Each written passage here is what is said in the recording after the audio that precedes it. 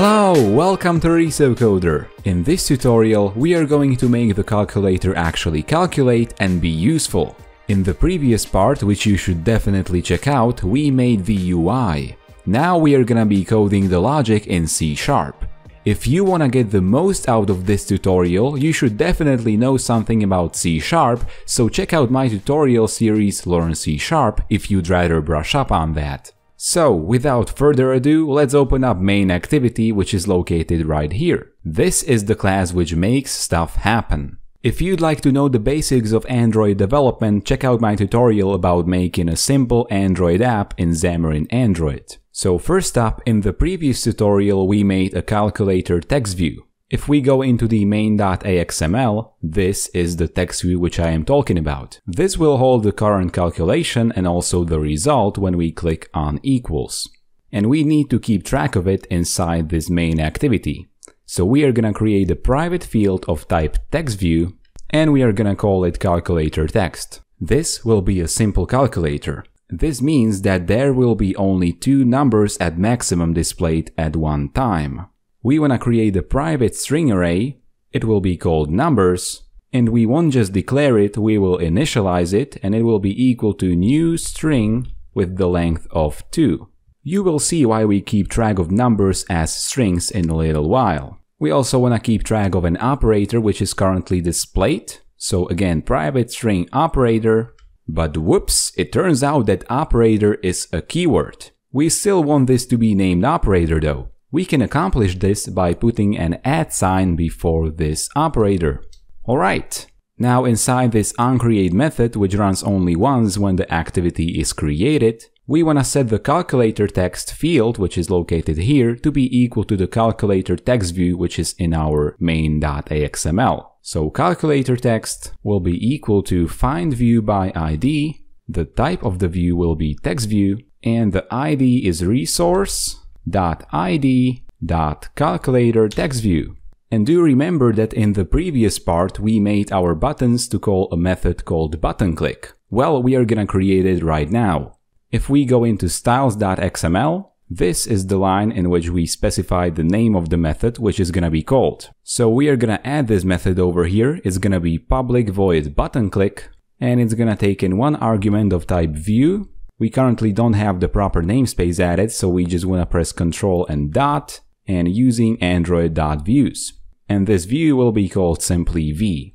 But doing just this is not enough. Because we are writing this in Xamarin in C Sharp, we need to do a little bit of setup. We need to add an attribute to this method. So square bracket, and we want to write java.interop.export, and here we want to put the name of the method, which is button click. But now when we go to build and build solution, we are gonna get an error. We need to add a reference to mono.android.export.dll when we use export attribute or export field attribute. And here we are surely using export attribute, so we need to add that reference. To add it, we want to right click on references, add reference, and here we can see android.export. We want to tick this and click OK. Now when we again go to build and build solution, we aren't gonna get any errors, which is definitely awesome. Now inside this method, we want to operate with the text inside the button and the button is passed into this method as a view.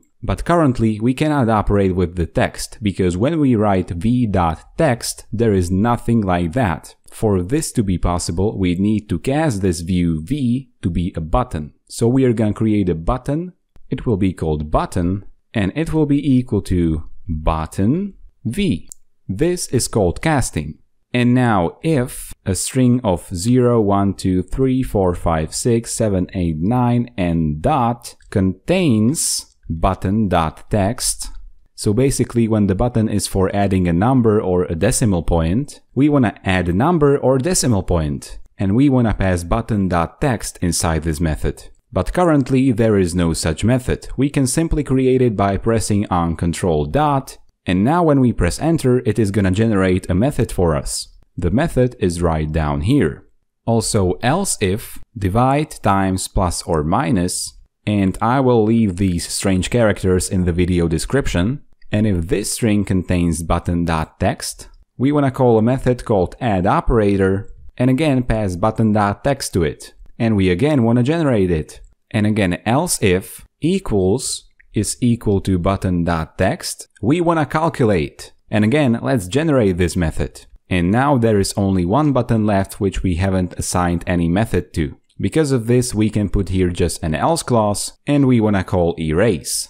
And again, let's generate the method for us. First up, let's do something with this method called add number or decimal point. But before we do that, let's change the string text parameter to say string value in all of these methods. So value in add number or decimal point, and also this will be called value inside this add operator method. Alright, now we can delete this throw new not implemented exception and just now I have realized that we should probably rename this method to say add digit or decimal point. This will be more correct. So let's change the number to digit and let's again press on control dot and enter which is gonna rename any call to this method to be correct. Alright, now that we have that, we should decide which particular number we should add this digit or decimal point to. We have two numbers inside an array, so we need to create an integer index and we will use a ternary operator. If at operator is equal to null, so if there is currently just no operator, it makes sense to work with the first number. So if operator is null, we want the index to be equal to 0, which is the first number. Otherwise, if the operator is not null, we want to work with the second number, so the index is 1. And if value which is the string passed into this method, and remember that this value is just what is written on the button, and if this value is equal to decimal point, so dot, and the currently worked with number already contains a decimal point, so if numbers at index dot contains a dot or a decimal point, we don't want to do anything inside this method. We surely don't want to have two decimal points inside one number. That is just plain stupid. So because of this, we want to return from this method, which is going to stop its execution. So return. Otherwise, numbers at index will be plus equal to value, which is going to concatenate this value to this particular number. And now it's a good time to show the change inside our calculator text view. This will ensure that our user will be actually able to see his actions. So we want to call a method called update calculator text. And again, we are to generate it. And now let's go to that method. We can either find it or click on this call to that method and press on F12. We want to delete this throw new not implemented exception. And here we just want to assign calculator text dot text to be equal to an interpolated string. So let's put a dollar sign before this string and it's gonna display numbers at index 0, then a space. Then we want to display an operator, then yet another space, and numbers at index of 1. Alright, but this method is just one simple expression. Let's make this method an expression-bodied method. We're gonna copy the contents of it, delete the two curly braces alongside with the content, and put an equals and greater sign, and paste the contents in here.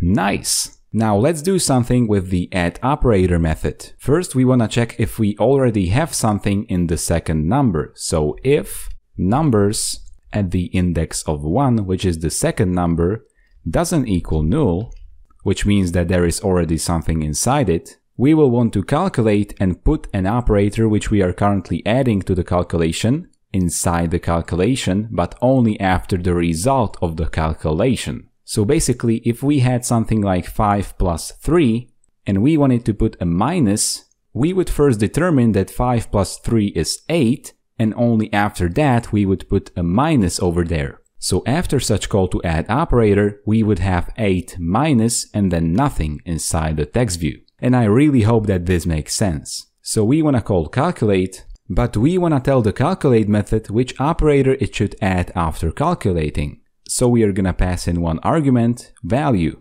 But there is no such argument inside calculate, so let's add it. It will be of type string, and we will call it new operator and now we have a problem. We are also calling this calculate method from another place, right over here. But here we don't want to add any operator after the calculation. So again, if there was 5 plus 3 inside the calculator text view, After pressing the equals button, we just want to have 8 inside the text view and no other operators or any such things. The simplest way to accomplish what we want is to make this operator optional. This can be done by assigning a default value to it. For our new operator, it will be null.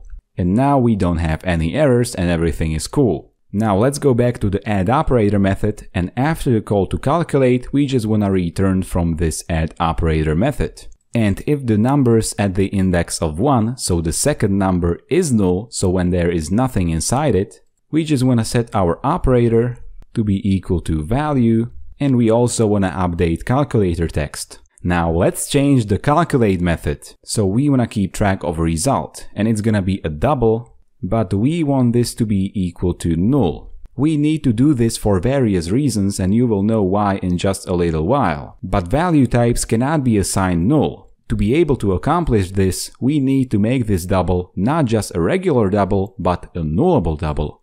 We can do this by putting a question mark after it. Also, we want to create a nullable double first, and this is going to be equal to, if the first number is null, so if the number at the index of 0 is null, we want this variable first to be also null.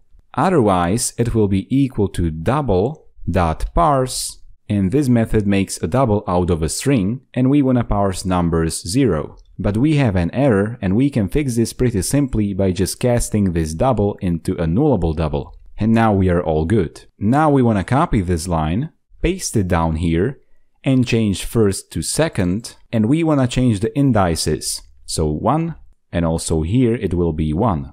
And now we want to set the result based on the current operator. So switch at operator and if the operator is divide, so case divide, then we want to set the result to be equal to first divided by second. And now another case, and this time it's gonna be multiplication, we want to set the result to be equal to first multiplied by second and also break. And whoops, I have forgotten a colon here. Now case plus, the result will be first plus second, and case minus, result will be equal to first minus second. And now if result doesn't equal null, if none of the operands is null, this means that neither first nor second is null, the result won't be null as well. However, if just one operand is null, so if either first or second is null, the result will be null too. So if we have some kind of meaningful result which is not null, we want to set the first number to display the result, so numbers at index of 0, is equal to result.toString. The operator will be equal to new operator, and because this parameter is optional and we have already set it to null, if we don't pass any argument to this method, this new operator will be null by default, so add operator will be assigned null by default. Also, the second number should be null, and we also want to update calculator text. Alright, and now for the last method, erase. Here we want to set both of the numbers to be equal to null, so number 0 equals numbers 1, and that equals null. Also, the operator will be null, and we want to update calculator text. Alright, and now when we run this inside our emulator, it should work perfectly fine. If you would like to see quite a bit more advanced, simple scientific calculator, please check out OneCalc. It's a calculator made with you in mind. OneCalc has many material themes you can choose from and is ready to help you with all of your calculation needs. You can get it from the link in the video description. Now let's calculate simple 5 plus 3 and equals 8 minus 5 equals 3 divided by 9 equals 1 third and times 3 equals not 1, but we can live with this. Now let's try and put multiple decimal points inside one number, so 12, decimal point, and decimal point, decimal point, decimal point, nothing happens, and 12.5, and now let's try and put decimal point over here, and nothing happens again. Now times 2 should be 25, but this time we aren't gonna click equals, but we are gonna click plus. And as you can see, we have 25 plus. So this feature works as well. And we want to add 5 to this. And now let's click on divide. So 30 divided by 5 equals 6. Alright, it completely works. And now let's press on delete and we can write again. And even when we have everything filled in, so 6 times 2, and now when we press on delete, it's gonna just work nicely. Alright, so that's it for this tutorial. If you'd like to get the code written in this tutorial, check out the link in the video description, which is gonna take you to resocoder.com. Thank you so much for watching this video and if you'd like to see more videos like this, subscribe to this channel and also hit the bell button to be notified about all of my new videos. If this video helped you and you also learned something new, please give it a like and also share it. Leave a comment if you have anything to say, whether it's a suggestion, question or if you just wanna say hi. Follow me on social media and see you in the next video.